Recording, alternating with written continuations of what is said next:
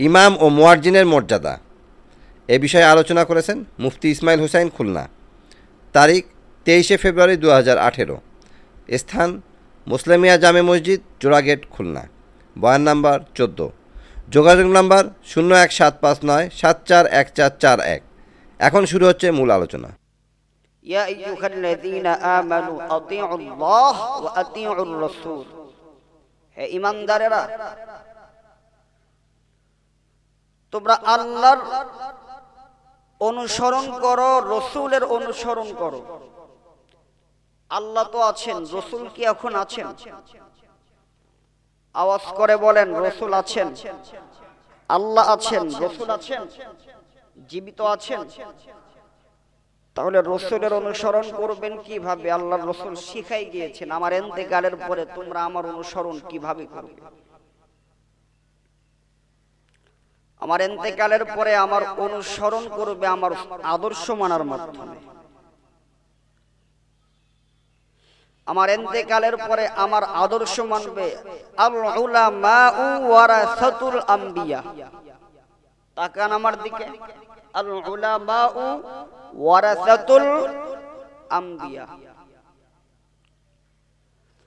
আল্লাহ রসুল বলেছেন উলামা ইকরাম নবীর ওয়ারিস।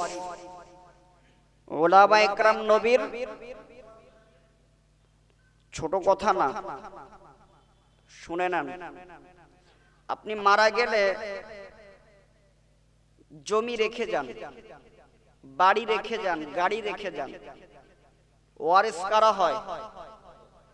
বলেন, বয়ান বুঝে থাকলে জবান খোলে বলুন, আপনি মারা গেলেন, সম্পদ আছে আপনার। গাড়ি বাড়ি আছে টাকা পয়সা আছে। এটার ওয়ারেস করা হয়? সন্তান সন্ততি। আল্লাহ রসুল মারা গেছেন, আল্লাহ রসুল জমি রেখে যান নাই, বুঝতে হবে। আল্লাহ রসুল যখন দুনিয়া থেকে বিদায় হয়েছেন, তিনি কি রেখে যান নাই? জমি রেখে যান নাই, সম্পদ রেখে যান নাই। রসুল আকরম ফখরে দু আলম টাকা পয়সা রেখে যান নাই। রসুল রেখে গেছেন নায়েবে রসুল রেখে গেছেন সাহাবায় কারাম। রসুল রেখে গেছেন তাবে তাবে তাবে রসুল রেখে গেছেন আয়েম্মায় মুস্তাহিদিন। রসুল রেখে গেছেন সলফে সালেহীন। রসুল রেখে গেছেন উলামাই কারাম। আমি মারা যাব? আমার ওয়ারেস আমি রেখে গেলাম, হে দুনিয়ার মানুষ। আমার ওয়ারেস যাদেরকে রেখে গেছি, যে যে জামানায় যাকে পাবে। আমি মারা যাব, মারা যাওয়ার পরে আমার সাহাবি পাবে। তোমাদের জন্য সাহাবিরা আমার ওয়ারেস হুকুম মেনে চলবে, জান্নাত পেয়ে যাবে। সাহাবাদের জামানা শেষ হয়ে যাবে, তাবেঈনের জামানা আসবে। হে দুনিয়ার মানুষ, তাবেঈনদেরকে মানবে নাজাত পেয়ে যাবে। তাবেঈন চলে যাবে, তাবে তাবেঈন আসবে। হে দুনিয়ার মানুষ, তাবে তাবেঈনদেরকে মানবে নাজাত পেয়ে যাবে। তাবে তাবেঈন চলে যাবে, আয়েম্মায়ে মুস্তাহিদিন আসবে। মানবে নাজাত পেয়ে যাবে। আয়েম্মায়ে মুস্তাহিদিন চলে যাবে, সলফে সালিহিন আসবে। হে দুনিয়ার মানুষ, তোমরা যখন বেঁচে থাকবে, তখন সলফে সালিহিনদেরকে মানবে নাজাত পেয়ে যাবে। হে দুনিয়ার মানুষ সলফে সালিহিন চলে যাবে এভাবে করে জামানার ইমামরা আসবে এরা আমার নায়েবে নবী أولئك الذين أنعم الله عليهم من النبيين والصديقين والشهداء والصالحين আল্লাহ কাদেরকে তার নিয়ামত দান করেছেন, নবীদেরকে, সিদ্দিকদেরকে, শহীদদেরকে, সালেহীনদেরকে। অনুসরণ করবে, নাজাত পেয়ে যাবে। অনুসরণ করবে না, জাহান্নামে চলে যাবে। আচ্ছা ভাই, কেউ কাউকে অনুসরণ না করলে কিছু শিখতে পারে? ছাত্র উস্তাদের অনুসরণ করে, বিধায় কিছু শিখে। ঠিক। আপনি যদি দিনের ব্যাপারে কাউকে অনুসরণ না করেন, আপনি দিন শিখতে পারবেন না। দিনের ব্যাপারে কাউকে অনুসরণ না করেন। দেখুন সাহাবাইকরাম কি করতেন? রসুলের হাতে হাত রেখে, ভাই, ঘুমাই, না ঘুমাই না ঘুমাই। সাহাবাইকরাম রসুলের হাতে হাত রেখে বায়াত গ্রহণ করতেন। বায়াত বুঝেন? বায়াত বলা হয়, হাতে হাত রেখে বলতো, ইয়া রসুল্লাহ আপনি এই যে কথাটা বললেন, যে কথাটি আপনি বললেন, আমরা এই কথার উপরে একমত পোষণ করে আমাদের জীবনটা চালাবো। একে বলা হয় বায়াত। একে কি বলা হয়? রসুল কোন বয়ান করতেন সাহাবাইকরাম একমত পোষণ করতেন, বুঝতে হবে। রসুলের বয়ান শুনে দুই গ্রুপ হতো। কই গ্রুপ? একদল মুনাফিক আর একদল মুমিন। মুমিন ছিল সাহাবাইকরাম রসুল বয়ান করতেন, রসুল যে বয়ানই করতেন সাহাবাইকরাম মানতেন, মুনাফিকরা বিরুদ্ধে বিরুদ্ধে অবস্থান গ্রহণ করতেন। খেলা দেখছেন। আচ্ছা এই, ওই যে রসুলের জামানায় যে সমস্যাটা ছিল, সেই সমস্যাটা কি এখনও পর্যন্ত আছে না সেটা বিলীন হয়ে গেছে? এখনও পর্যন্ত আছে। এখনও পর্যন্ত হকানি ওলামাই বয়ান করবে, একদল লোক মানবে আর একদল লোক বিরুদ্ধে অবস্থান গ্রহণ করবে। এটা বুঝতে হবে। যারা মানবে, মোমেন, জান্নাতি, যারা মানবে না, মুনাফিক জাহান্নামী। কোন জাহান্নাম? ইন্নাল মুনাফিকিনা ফিদ দারকিল আসফালি মিনান নার। দোজখের স্তর জাহান্নাম লাজা হুতামা সাঈর সাকর জাহিম হাওয়া সাত স্তরের মধ্য থেকে নিকৃষ্টতম স্তরের দোজখের নাম হলো হাফিয়া মুনাফিকদেরকে হাফিয়া নামক দোজকে পাঠিয়ে দেওয়া হবে। শয়তান চায় ওলামাই ক্রামদের থেকে বিচ্ছিন্ন যাতে মানুষ হয়ে যায়। আল্লাহ এবং আল্লাহর রসুল বলেছেন, জীবনটা কাটিয়ে দিবে ওলামাই ক্রামদের সাথে সম্পর্ক অটল রেখে। যে আলেম ওলামা ইমাম, মুয়াজ্জিন, এদের সাথে সম্পর্ক বজায় রেখে যে জীবনটা কাটাবে, আল্লাহ তাকে জান্নাতের উচ্চ মাকাম দান করবে। এ সম্পর্কে আমি একটা হাদিস মুসলিম শরীফ থেকে পেশ করব। কোন সম্পর্কে? যে জামানার মানুষ, আলেম, উলামা, ইমাম, মুয়াজ্জিনদের সাথে সম্পর্ক বজায় রেখে জীবনটা পার করে দিবে, জীবনটা কাটিয়ে দিবে, আল্লাহ তাকে জান্নাতের উচ্চ মাকাম দান করবে, এ সম্পর্কে মুসলিম শরীফের একটা স্পষ্ট হাদিস পেশ করব। শুনতে চান আপনারা?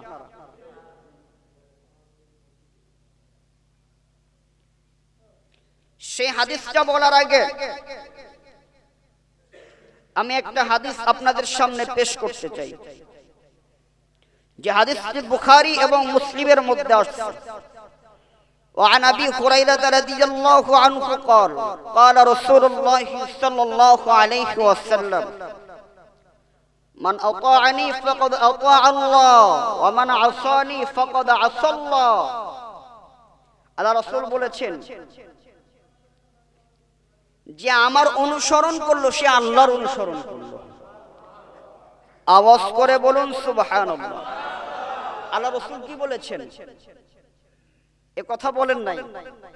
যে আল্লাহর অনুসরণ করল, সে আমার অনুসরণ করল। এ কথা কে বলেন নাই? আরে তো আজীব বয়ান। কত মজার কথা, কত মজার কথা, কত মজার কথা। আল্লাহর রসুলের মতো শ্রেষ্ঠ মানুষ পৃথিবীতে আছে। আল্লাহর রসুল বড় না আল্লাহ বড়? এই কথাটা এরকম হলে ভালো হতো না। হে দুনিয়ার মানুষ, যে আল্লাহকে মানলো, সে আমাকে মানলো। কথাটা এরকম হলে ভালো হতো না। কিন্তু দেখেন, আল্লাহ রসুল তা বলেন নাই। আল্লাহ রসুল বলেছেন, হে দুনিয়ার মানুষ, যে আমাকে মানলো, সে আল্লাহকে মানলো। আওয়াজ করে বলুন, সুবহানাল্লাহ। আল্লাহ কি বলে দেখবেন? দেখেন, হাদিসে আল্লাহ রসুল কি বললেন? মজার কথা না বলেন? হাদিসে আল্লাহ রসুল বললেন যে, আমাকে মানলো, সে কাকে মানলো? কিন্তু কথাটা আমাদের দৃষ্টিতে, আমরা ছোট মানুষ, অল্প বুঝের মানুষ, কথাটা এরকম হলে ভালো হতো না? যে আল্লাহ সবচেয়ে দামি মানুষ। আল্লাহ রসুল তো বলা উচিত ছিল যে, আল্লাহকে মানলো, হে দুনিয়ার মানুষ, সে আমাকে মানলো। কিন্তু তা না। আল্লাহ রসুল বলতেছেন, হে দুনিয়ার মানুষ আমাকে মানলো সে আল্লাহকে মানলো। এবার আল্লাহ কোরআনে কি বলেন দেখেন হে দুনিয়ার মানুষ আমি আল্লাহকে রাজি করতে চাও? তা দুনিয়ার মানুষ বলতেছে হে আল্লাহ তোমাকে রাজি করতে চাই। তো আল্লাহ বলে হে দুনিয়ার মানুষ আমার নবীকে রাজি করো আমি রাজি যাব। আওয়াজ করে বলুন সুবহানাল্লাহ। হে দুনিয়ার মানুষ আমি আল্লাহকে রাজি করতে চাও? দুনিয়ার মানুষ বলতেছে হে আল্লাহ হ্যাঁ তোমাকে রাজি করতে চাই। এবার আল্লাহ বলতেছেন, দুনিয়ার মানুষ, আমাকে যদি রাজি করতে চাও, আমার নবীর অনুসরণ করো, রাজি হয়ে যাবে। এবার কি বলেন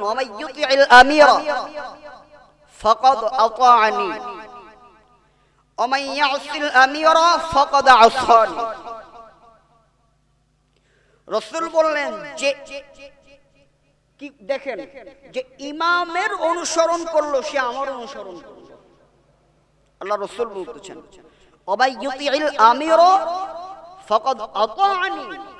যে ইমামের অনুসরণ করল, আল্লাহ রসুল বলতেছেন, সে আমার অনুসরণ করল। আর যে ইমামের বিরুদ্ধে অবস্থান গ্রহণ করল, সে আমার বিরুদ্ধে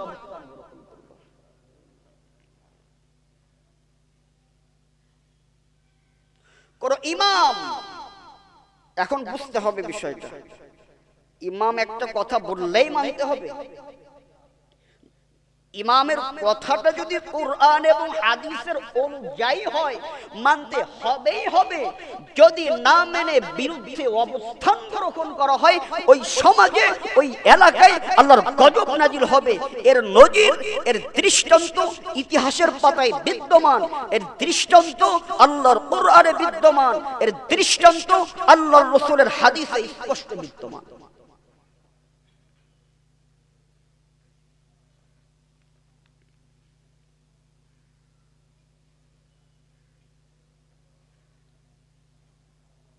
একটা বিষয় মনে রাখবেন।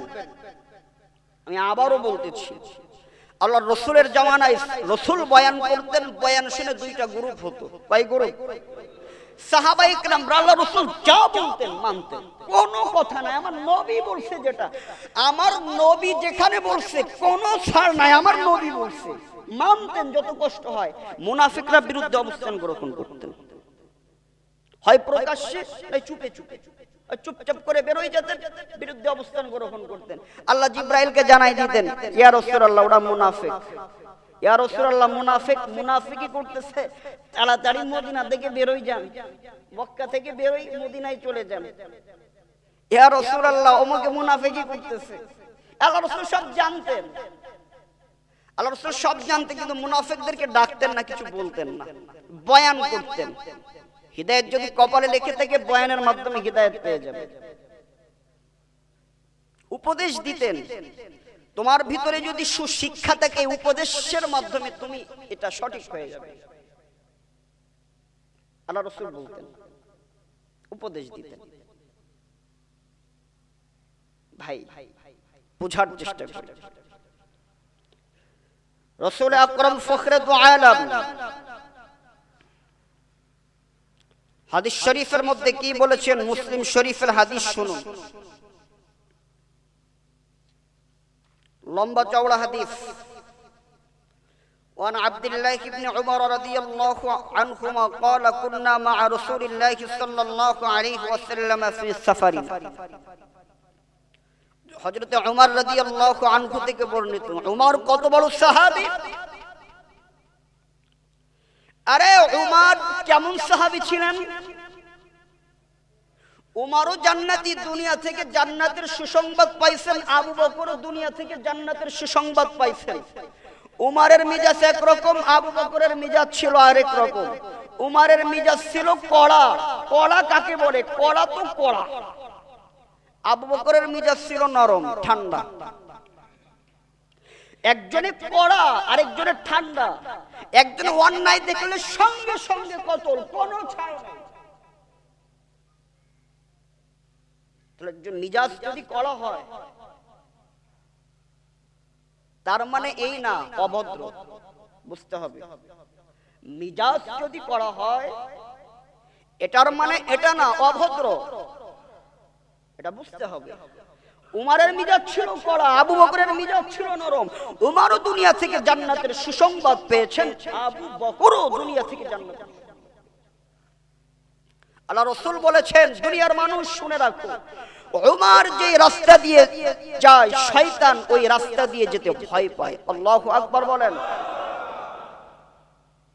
এই উমার রাদিয়াল্লাহু আনহু বলেন। রসুল আকরম ফখরে আলম বলেছেন, এমন একটা জামানা আসতেছে, এমন একটা সময় আসতেছে আমার উম্মতের উপর, যখন বিপদ একটার পর একটা আসতেই থাকবে, একটার পর একটা আসতেই থাকবে, বিরাট বড় বড় এক একটা বিপদ আসবে। এ বিপদ কেটে যাবে, আরেকটা বিপদ আসবে। কেটে যাবে। আরেকটা বিপদ আসবে কিন্তু বিপদ থেকে উদ্ধার হওয়ার জন্য বান্দা চেষ্টা করবে কিন্তু বিপদের সম্মুখীন হতে থাকবে চতুর্মুখী সমস্যার সম্মুখীন হবে।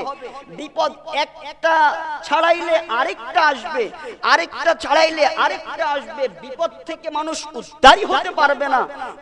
চতুর্মুখী সমস্যার সম্মুখীন হবে তখন দুনিয়ার যে সমস্ত মানুষ ইমামের অনুসরণ করবে তারা হৃদায়ত পেয়ে যাবে বিপদ থেকে উদ্ধার পেয়ে যাবে মুসলিম শরীফের হাদিস অমান বাআ ইমামান فأعطاه صفقة يده وثمرة قلبه فليطعمه বুঝার চেষ্টা করুন এমন একটা জামানা আসতেছে, যেই জামানার মানুষ বিভিন্ন বিপদের সম্মুখীন হবে, বড় বড় বিপদের সম্মুখীন হবে। তসবিহের দানা ছিঁড়ে গেলে যেমন একটার পরে একটা তসবিহের দানা পড়তে থাকে ওরকম ভাবে বিপদ একটার পর একটা আসতে থাকবে। কিন্তু বিপদ থেকে মানুষ উদ্ধার হতে পারবে না। কিন্তু সমাজের যেই মানুষগুলি ইমামের অনুসরণ করবে, সেই মানুষগুলি একমাত্র বিপদ থেকে উদ্ধার হতে পারবে। আর যদি, এবং আল্লাহ রসুল বলেছেন, আর যদি সেই সমাজের মানুষ ইমামের অনুসরণ না করে, তো ওই সমাজের মানুষ বিপদ থেকে উদ্ধার হতে পারবে না। এবং রসুল বলেছেন রসুল বলেছেন তোমরা কি জান্নাতে যেতে চাও? হাদিসে আছে। লম্বা চওড়া হাদিস। বলার সময় নেই। তোমরা জান্নাতে যেতে চাও? জাহান্নাম থেকে নাজাত পেতে চাও? যদি চাও ইমামের অনুসরণ হাদিসের সর্বশেষ শব্দ। হাদিসের সর্বশেষ শব্দ ফাইন জাআ আখরু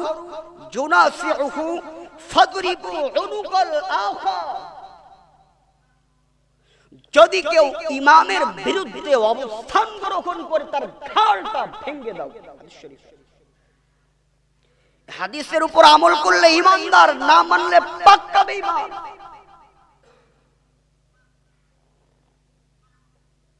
আমি আগেই বলেছি, রসুলের জামানায়ও বয়ান শুনে দুই গ্রুপ হতো। এ পর্যন্ত বয়ান শুনে দুইটা গ্রুপ হবে, থাকবে। ইমামের অনুসরণ যারা করবে, জান্নাতি বিপদ থেকে তারা উত্তর পেয়ে যাবে। অনুসরণ যারা না করবে, বিপদের বেড়া জেলে আবদ্ধ থাকবে। বিপদ থেকে উদ্ধার হতে পারবে না। একটার পর একটা বিপদ আসতেই থাকবে। আরও আল্লাহর রসুল কড়া হুঁশিয়ারি দিয়ে দিচ্ছেন, অনুসরণ যদি ইমামের না করো, জাহান্নামে চলে যাবে। কোন ইমামের? যে ইমাম কোরআন এবং হাদিসের উপরে থাকবে। আজীব ব্যাপার আজীব ব্যাপার। সমাজের মানুষকে আল্লাহ তালা ওলামাই ক্রামদের সাথে সম্পর্ক বহাল রাখতে, সমাজের মানুষকে আল্লাহ রসুল নির্দেশ দিয়েছেন ওলামা একরামদের সাথে সম্পর্ক বহাল রাখো যদি ওলামা একরাম আলেম ওলামা ইমাম, মুয়াজ্জিন ভুল করে কেয়ামতের ময়দানে আল্লাহ তাদের বিচার জনসাধারণের সামনে করবেন না পর্দার আড়ালে। কত মর্যাদা দিয়েছে কত মর্যাদা দিয়েছে।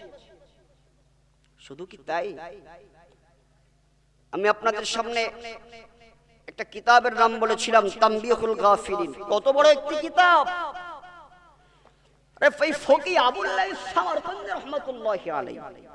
কত বড় বুজুর্গ। কিতাব লিখেছেন গাফিলিন। লিখে কিতাবটা রসুলের রওজায় পেশ করছে, রসুলের রওজায়। রসুলের রওজায় পেশ করে আল্লাহ রসুলকে বলতেছে, ইয়া রসুল আল্লাহ কিতাব লিখেছি গাফিলিন। এই কিতাবটি আপনার সামনে পেশ করলাম। ইয়া রসুল আল্লাহ এই কিতাবের ভিতরে যদি কোনো ভুল থাকে, আপনার হাত দিয়ে এটা দূর করে দিন, কেটে দিন। ঘুম থেকে উঠছেন ফকিয়াবুল্লাহ স্বপ্নে আল্লাহর রসুল যা যা বলার বলে দিয়েছেন। স্বপ্নে বলেছে, হে ফকিয়াবুল্লাহ তোমার কিতাবটা আমি রসুলের কাছে এত পছন্দনীয় হয়েছে। এই কিতাব গোটা বিশ্বের সমস্ত মুসলমানের কাছে গ্রহণীয় হবে। আল্লাহ যেখানে যেখানে ভুল আমি কেটে দিয়েছি। ঘুম থেকে উঠলেন। উঠে দেখে পৃষ্ঠার বিভিন্ন জায়গায় সাদা সাদা। অর্থাৎ যেখানে যেখানে ভুল ছিল, সেটা সেটা কিতাব থেকে মুছে গেছে। কিতাবের মধ্যে আবুল্লাহ সমরকন্দ রহমতুল্লাহ আলাই চমৎকার কিছু হাদিস উল্লেখ করেছে।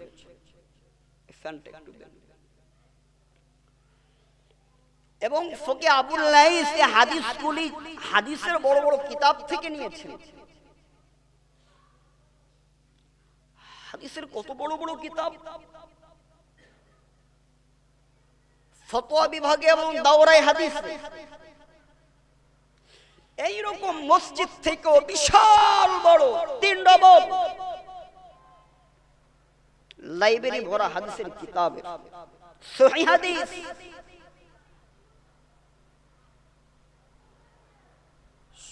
সবগুলি মাদ্রাসার ছাত্রদেরকে পড়ানো হয়।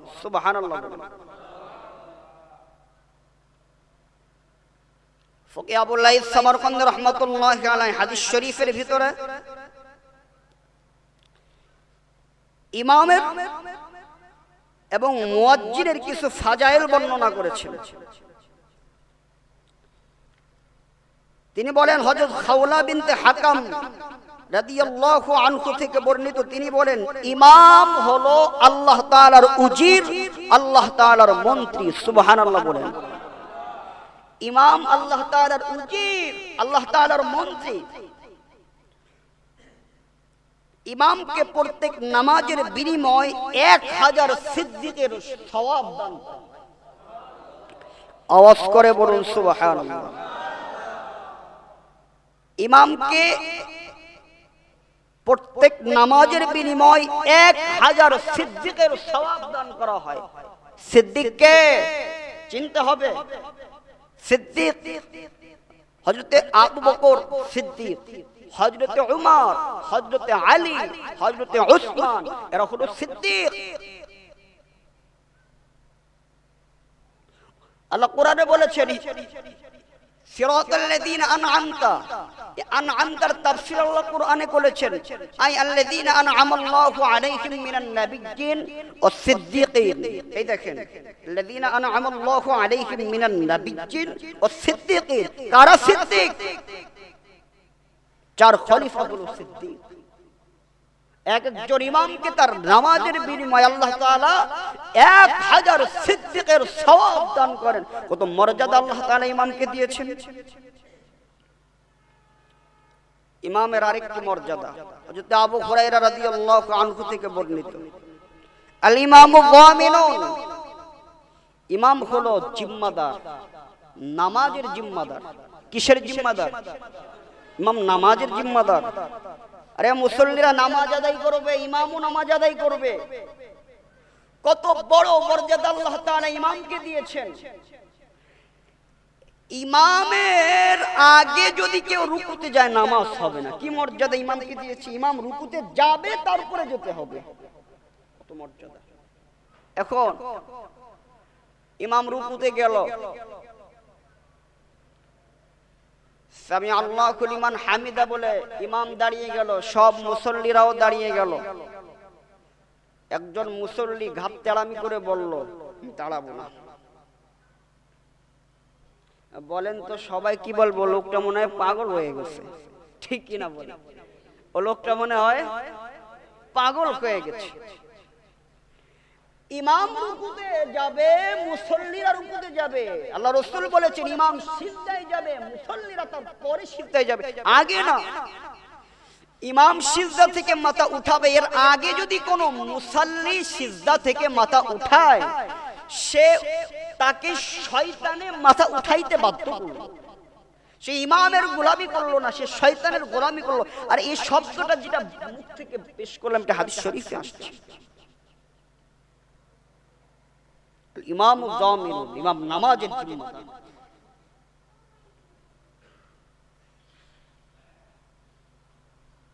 এবার শুনুন হজরতে আনাস মালিক আনহু থেকে বর্ণিত। রাসূল কি বলেছেন হাদিসে? রাসূল করিম ওয়াসাল্লাম ইরশাদ করেছেন যে ইমাম নামাজ পড়ায় আল্লাহকে সন্তুষ্ট করার জন্য। আল্লাহ তাআলা তাকে তিনটা পুরস্কার দান করবেন। এক নম্বর পুরস্কার, ইমামকে কেয়ামতের দিন মিশকের টিলার উপরে আল্লাহ তাআলা অবস্থান দিবেন। সুবহানাল্লাহ বলেন।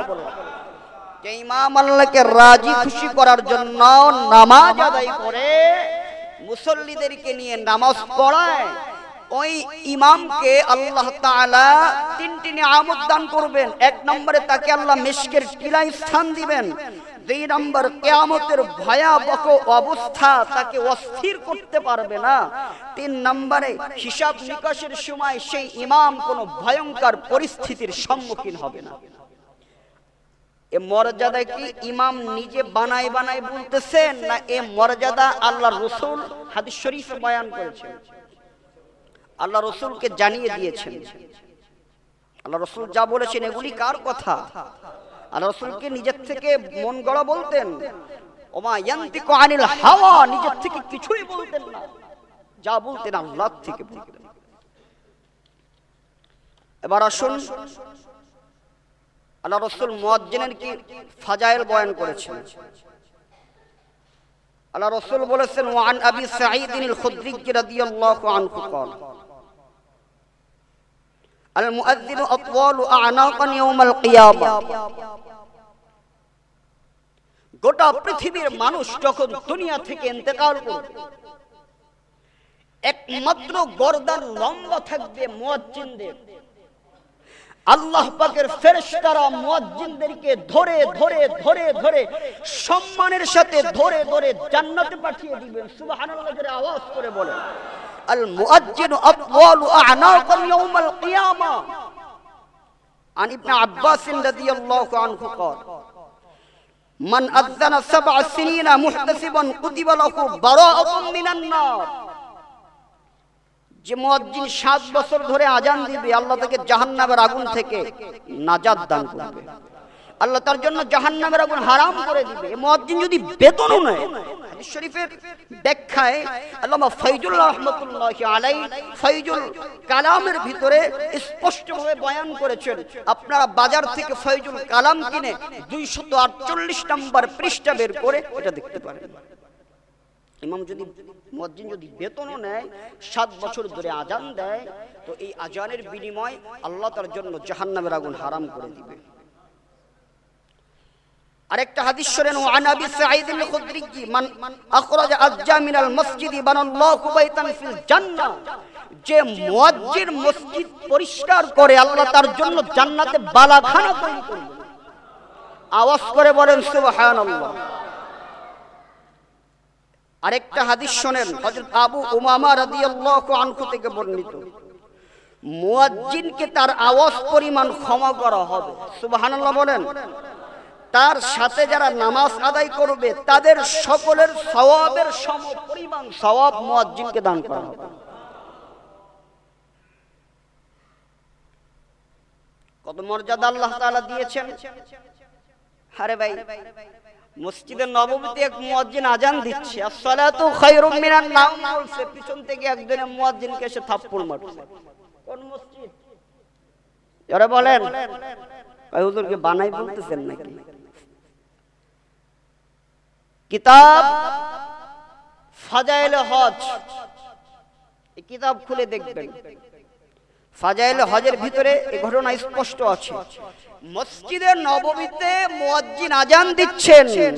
সালাতু খায়রুম মিনান নাউম বলেছেন, পিছন থেকে একজন এসে একটা চড় মারছে। মারার সাথে সাথে আল্লাহ তার হাত অবশ করে দিয়েছে। অসুস্থ হয়ে পড়েছে, বেহুশ হয়ে গেছে। মুসল্লিরা মসজিদে এসে তাকে বাড়িতে নিয়ে গেছে, তিন দিনের মাথায় দুনিয়া থেকে বিদায় হয়ে গেছে। বেইমানি যে থাপ্পড় মারছে, তার বেইমানি মৃত্যু হয়ে গেছে। ঢাকা মিরপুরের ঘটনা শোনো। ঢাকা মিরপুরের ঘটনা। চরমোনার এক মুজাহিদ চরমোনার মাহফিল থেকে বাড়ি আসছে। ডিউটিতে গেছে ডিউটিতে। তো এক স্যার সেও ডিউটিতে গেছে। পোশাকাতি যা পড়ছে সুন্নাতের খেলাম মুখে দাড়ি নাই। তখন বলছে আরে ভাই তুমি মুখে দাড়ি রাখো ভাই সুন্নাতি পোশাক পরো। ওরে মারছে আর থুতু মারছে। তুমি থু থু দিছে কাইদে থুতু দেওয়ার সাথে সাথে সে বেহুশ হয়ে হাত পায়ে জ্বালা পোড়া শুরু হয়ে গেছে। এমন ভাবে জ্বালা পোড়া শুরু হয়ে গেছে, সঙ্গে সঙ্গে ডাক্তারের কাছে নিয়ে গেছে। ডাক্তার সুস্থ করতে পারে না। দুনিয়ার সকল যেখানে যেখানে যাওয়ার মতো সেখানে সেখানে গেছে, সুস্থ হওয়ার জন্য সুস্থ হতে পারে না।